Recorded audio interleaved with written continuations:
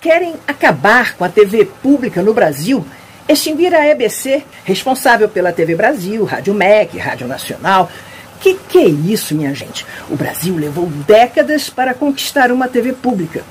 A Constituição de 1988 já previa essa criação, que só foi acontecer em 2007, depois de muita luta, mobilizando diversos segmentos da sociedade, luta da qual eu me orgulho em ter participado.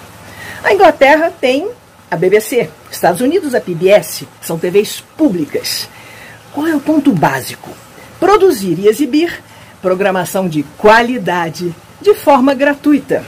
Então é fundamental respeitar nossa Constituição e valorizar, defender a EBC, responsável pela nossa TV pública, pela TV do povo brasileiro.